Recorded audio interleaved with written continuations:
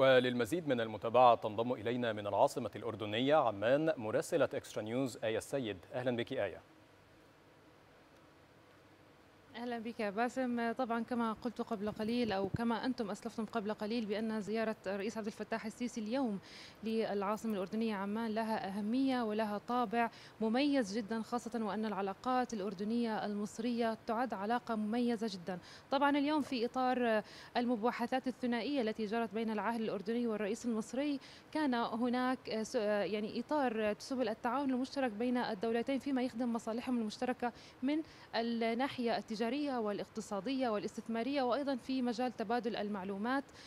كما أكدوا أيضا على موضوع أو تطرقوا لملف الإرهاب خاصة وأن بعض الدول العربية المحيطة تعاني حتى اليوم من هذا من هذه الصعوبات أو من هذا الصراع. لذلك أكد الزعيمين اليوم بأنه لابد من من لابد من يعني التكاتف الجهود المبذولة من أجل الحد من الإرهاب والتطرف في الدول المجاورة. أيضا كان هناك كما أسلفت أنت قبل قليل بخصوص القضية الفلسطينية وأيضا تطرقوا لموضوع قطاع غزة خاصة وأن هذا القطاع يعاني منذ زمن. لذلك كان هناك اليوم مشاورات بأنه لابد من أن ينعم هذا القطاع بالأمن والاستقرار والوضع الاقتصادي المتحسن.